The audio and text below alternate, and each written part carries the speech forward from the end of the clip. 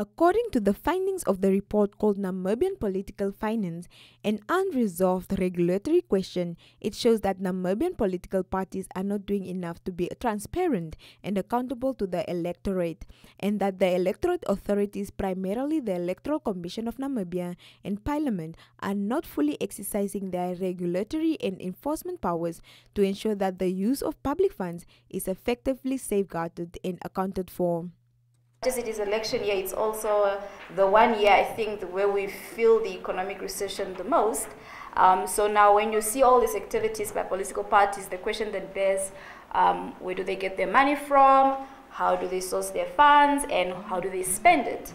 Um, so then this builds into the purpose of party funding in Namibia. It's important that we know um, how do parties spend their money because at the end of the day, the purpose of party funding is for the parties to be able to do the activities that they promise to be doing.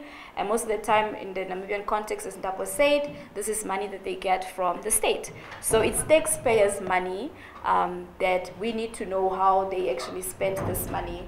Um, and then also in terms of key observations, a key observation from this paper is that um, a well-funded party is likely to do very well in an election year, and a well-funded uh, uh, candidate is equally likely to do better compared to a poorly funded one. Access to information becomes very important, and one thing we're stressing in this paper is the need to pass an access to information bill, because uh, when we were engaging uh, some of the political parties, they just didn't want to share.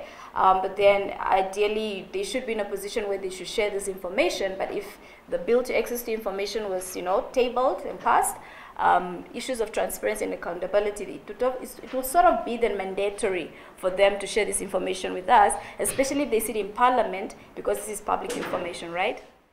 Frederico Links, IPPR Research Associate, further stressed that the importance of educating the ordinary Namibian on how public money is spent, noting that it is their right to control and make decisions on how state money gets used.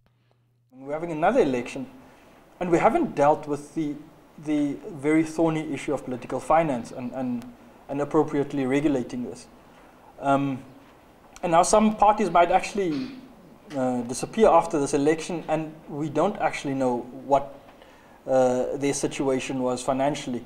I mean, the Workers' Revolutionary Party and what's been happening there isn't exactly, um, hasn't exactly been resolved to date. There's no proactivity in actually making audited financial statements available, but they claim that at their party meetings, and their annual, their congresses and so forth, that they actually do um, uh, make this information available to, to their members. Um, I mean, it's, it's a questionable claim. There is also no proactive um, um uh, release of this sort of information.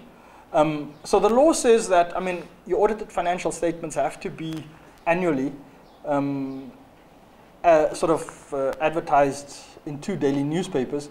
Um, Links further emphasize that this is not the first time the IPPR explored this type of research, stating that some of the observations showed under regulation seems to dominate the political party's financial environment, and there is a need for stronger institutional regulators and oversight. Música